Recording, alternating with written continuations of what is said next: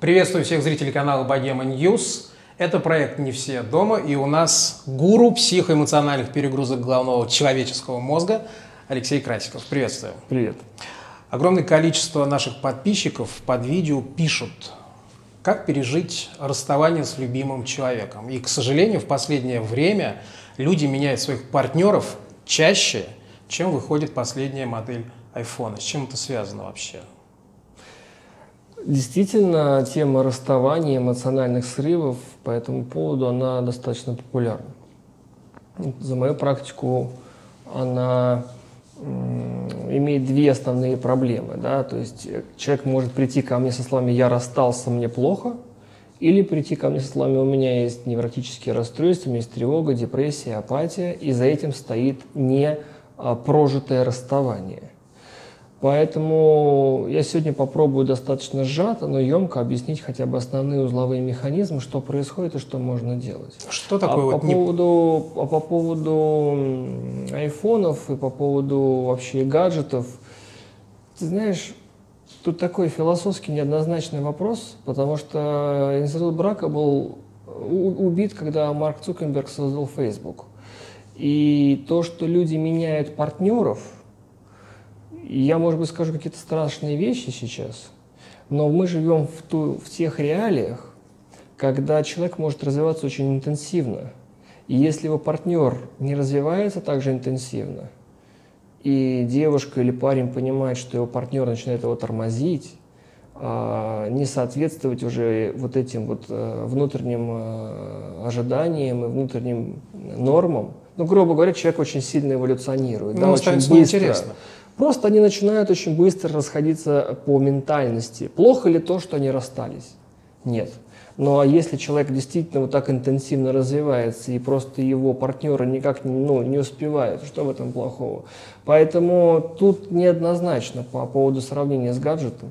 Можно сравнить о том, что человек просто меняет каждую неделю, да, там, это какая-то невротическая история, там, заедание своей самооценки и так далее. А может быть так, что просто девушка понимает, что она никак не может найти мужчину, который наконец-то ее возьмет за руку и скажет, пойдем, не бойся, мы все вместе сделаем. Приходится ей нести за руку, в какой-то момент она просто устает. Угу. Тогда вот ты говоришь не, про, не, не прожитое вот это ощущение расставания. Да. Хорошо, приходит девушка говорит, я рассталась с молодым человеком, у меня mm-hmm. вот есть непережитое вот это чувство, mm-hmm. я его не, не могу никак пережить. Что mm-hmm. мне делать? С чем нужно бороться? Да? За что нужно взяться? Я понял. Объективно говоря, здесь э, нету какого-то одного совета или лекарства, да, потому что часто, кстати, вот э, панические атаки, неврозы, они возникают, это симптомы паники, да, вегетатики начинают возникают тогда, когда расстался человек с кем-то. То есть, например, пришла девушка, говорит, у меня панические атаки, невроз, там, страх и тревога. Когда началось? Она говорит, началось полгода назад. А что происходило полгода назад? Я рассталась с парнем. А бывает так, что девочка рассталась 33 раза с разными парнями, и хоть бы там слон куда-нибудь наступил, она бы даже не вспискнула. Почему? Потому что для каждой девочки и мальчика а, и есть свои уязвимости. И если в детстве есть определенные предпосылки к важности семьи, важности заботы, внимания, а, определенное чувство частной собственности, да, материнско там сыновей, э, материнско а, сыновьих или там дочь-отец отношений, вот там формируются очень такие тонкие механизмы, наверное, погружать в которые сейчас наших подписчиков не стоит, когда э, расставание попадает в очень болезненный момент. Поэтому не все люди при расставаниях испытывают неврозы и депрессии. По поводу того, что делать. Можно пойти, опять же, глубоко, можно пойти популярно да, для подписчиков. Первое, что необходимо дать себе время. Потому что когда вы что влюбились, что расстались, это два эффекта. А любовь это наркотик, на твой взгляд? Это Кто? биохимическая э, реакция, любовь? Это, это эффект, это эмоциональная реакция. Это эмоциональная реакция на совпадение. Давно уже доказано, что того эффекта, который был первые 2-3 месяца после того, как вы встретились, никогда больше в жизни не будет. Если только что-то не изменится вдруг. какие-то обстоятельства. То есть это эффект, да, когда вы расстались, если... Давай так, чтобы нашим зрителям было понятно. Есть два основных драйвера, которые запускают эффект вот по расставанию. Первое – это ожидание, и это называется принцип прожектора. Второй – это болезненное самолюбие. Эго. Да. Что касается первого. А, представь себе, что ты смотришь в лес, темнота, лес, ночь. Ты приносишь софит студийный на Мосфильме. Ты взял, да, приехал, значит, подключил такой огромный. И ты его направил э, столб света в лес. И у тебя освещается лес, там какие-то звери бегают, размножаются, и ты вот видишь вот узкую колею этого леса. И ты понимаешь, что там в лесу, кто там живет, какие там дерево, да. Вот есть луч света, который светит в этот лес. Угу. И вот если парень стал для девушки, или, де, или парень для, или девушка для парня стала вот таким прожектором в будущее, семья, дети, лабрадор, загородный дом. Ну, представь себе Белый ситуацию, забор. да, парень познакомился с девушкой, девушка приходит на, на встречу и говорит, ты знаешь, вчера познакомилась, значит, там с Колей, Коля такой обалденный, значит, мы через полгода полетим с ним в Индонезию, он сделает мне предложение на берегу там Индийского океана на острове Бали, потом у нас родится дочка, потом родится сын, значит, дочка будет у Ирины Санны Винер заниматься художественной гимнастикой, а сын пойдет заниматься хоккеем, потом мы купим загородный дом, у нас будет зеленая лужайка, бегать белый лабрадор Бади, и мы все вместе будем фотографироваться, значит, у камина. Он приходит на следующий день к этой девушке, говорит, знаешь, нам надо расстаться. Она говорит, как расстаться? У нас лабрадор, у нас дочь. Не кормленный. И у нее вот этот вот прожектор в будущее просто выключается. И это в психотерапии называется обрыв спереди. То есть человек настолько вперед нарисовал себе картину, что когда вдруг человек принимает решение передумать, перехотеть, переосмыслить, поменяться, сейчас мы об этом поговорим, как это физиологически происходит с точки зрения нейропластичности. Если вам интересно, не переключайтесь. А, человек настолько нарисовал себе эту картину вперед, что когда она вдруг выключается, это эффект. Понятно примерно, да? Да. Что имеет вот этот принцип прожектора. Поэтому первый совет. Никогда не ставьте на мужика или на женщину ставку на будущее – Смотрите в реальность. Нам с тобой сегодня хорошо. Я не знаю, как будет в будущем. Я знаю, что нам сейчас классно, мы стараемся решать все наши вопросы, но как оно будет через какое-то время, я не знаю, что случится. Поэтому тут надо исходить из пожеланий. Я бы хотела, чтобы в будущем у нас было все так, как мы бы хотели вместе, но может случиться все, что угодно. Тогда вы немножечко закидываете себе страховку от этого принципа прожектора. Потому что если вы будете рисовать сами вот это будущее, которое вдруг там кирпич на голову упал, там пьяный на встречку вылетел, да, там еще что-то случилось, то тогда сила эффекта будет высока. Вот это первая часть. Вторая часть тоже очень важная, она касается самолюбия. Очень много людей плачут от жалости к себе. Меня бросили, это значит я хуже, а, а кто там с ним, а кто там с ней – а кто там, значит, ее, и он кого. То есть на самом деле мы путаем жалость к себе, путаем жадность, путаем гордость, путаем обиду с чувством любви. У меня, знаешь, были парни в терапии, которые приходили, они, они смеялись. Они говорят, Леша, не понимаешь, что со мной происходит? Говорит, мне, говорит, так моя девушка достала. Она мы там уже два года расставались неоднократно. Я все сказал, все, я больше не могу, давай расстаться, расставаться. Они расстались. Прошла неделя, он увидел фотографии, как она там ходит по ресторанам, говорит, что-то так это, как-то это, стало Гордость, не по себе, да? я понял, что я ее люблю, я начал не спать ночами, стал ей писать, наяривать, там, Света, прости, мы все-таки созданы друг для друга, я, говорит, ее вернул, и через три дня сел, говорю, зачем? И успокоился. Да. Но это... Зачем я это сделал? И вот тут он начинает понимать, что на самом деле это про инстинкты. И это исключительно про собственничество. Это мое. инстинкт охотника. Может быть это такой? Инстинкт, ну, вот... Это инстинкт идиота, а не охотника. Понимаешь, охотник, он поумнее хотя бы. Он хотя бы это делает для чего-то. А это просто для коллекции. Это мое. Это, угу. про, это про гордость. Мое. Угу. Вот это мое, и я никому не отдам. И мне самому уже не надо. но я и не отдам никому. Поэтому очень многие спутали вот этот вот эмоциональный аффект жалости к себе, тоски под названием «а я же так вот отдавал этому человеку, а мной...» Несправедливость, да? Несправедливость, а, гордость, обида. Многие называют, к сожалению, это любовью. Это не так. Поэтому вторая часть, с которой мы работаем, это про гордость. Но если ты любишь человека, ну, вообще, если говорить про любовь, то это желание, чтобы у человека было все хорошо. Ну, ты когда любишь свою кошку, ты же не занимаешься с ней сексом, ты просто ее кормишь. Мать любит своего ребенка не потому, что она занимается с ним сексом, а потому что она хочет, чтобы у него было все хорошо. Это природный инстинкт, это заложено природой. Так это и есть любовь.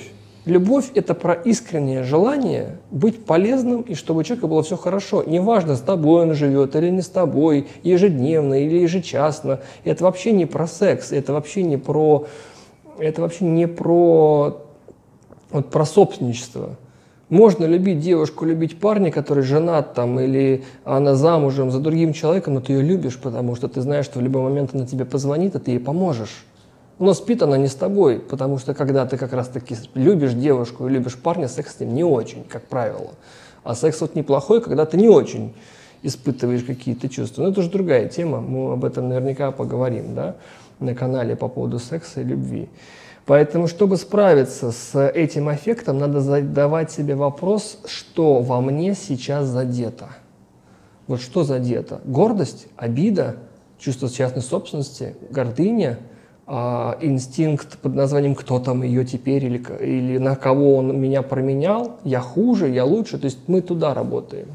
Поэтому, чтобы с этим справиться, надо интеллект включать.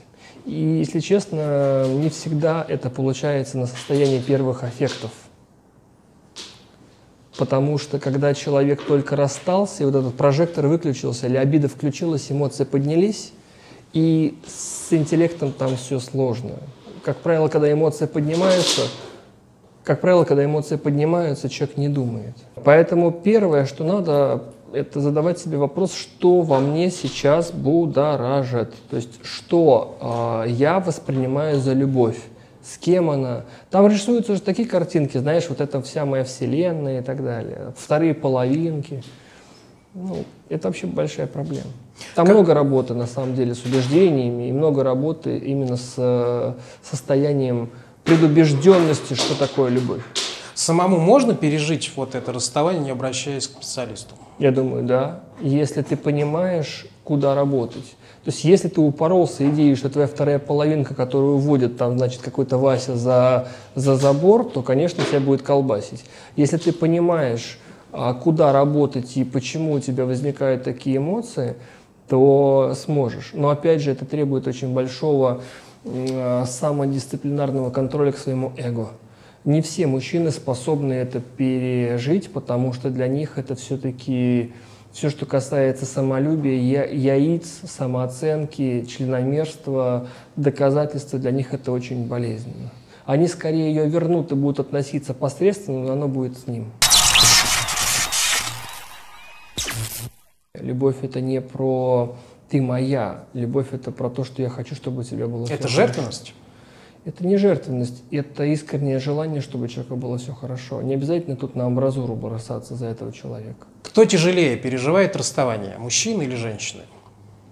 На мой взгляд, одинаково. Но, не, но переживания разные. Это очень интересно исследовать.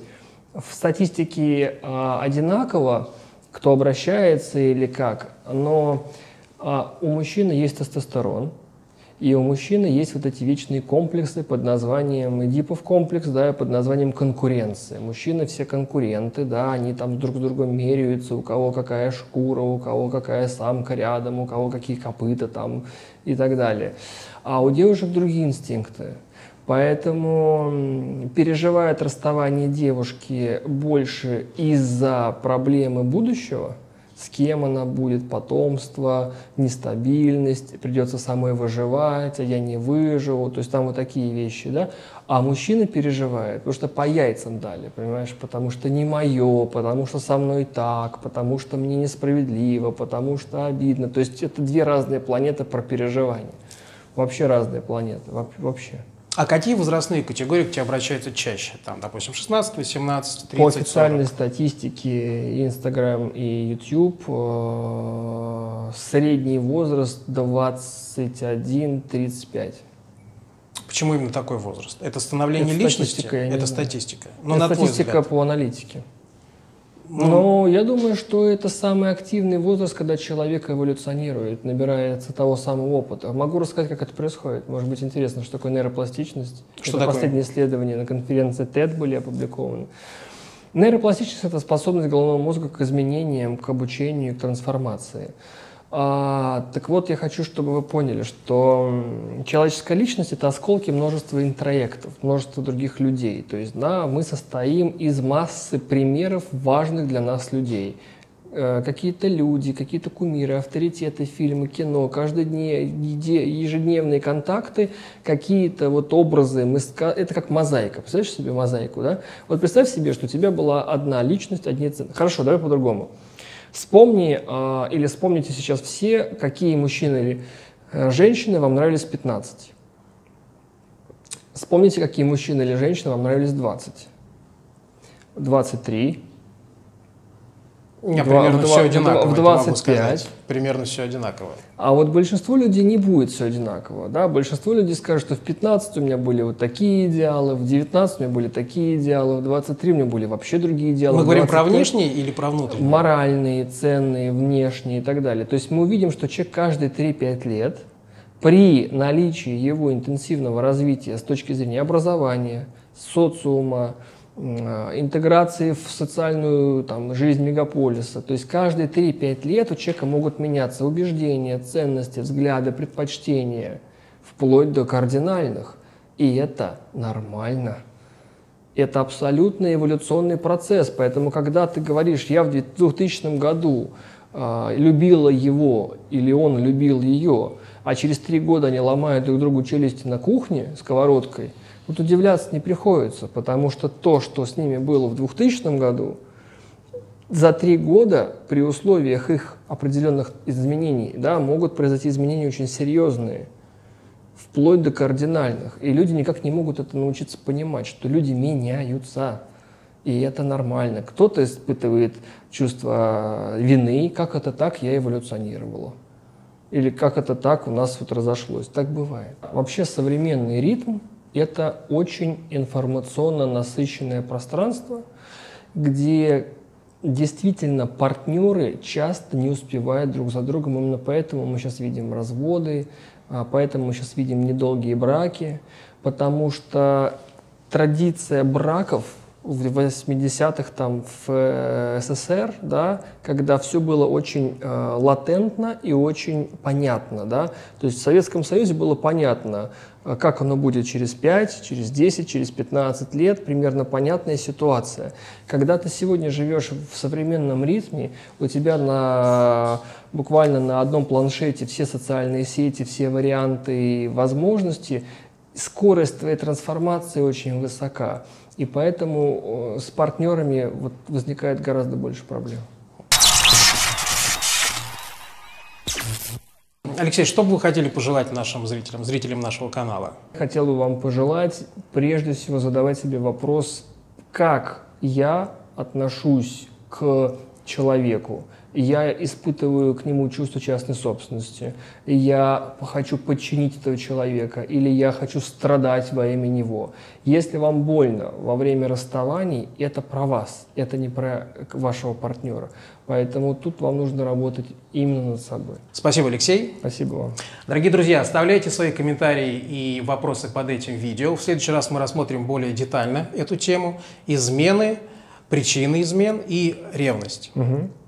И не забывайте про наш колокольчик. Нажимая на него, вы будете всегда получать новые свежие видео и будете в курсе всей информации от канала Богема News. И, видимо, тогда у вас все будут дома. Пока.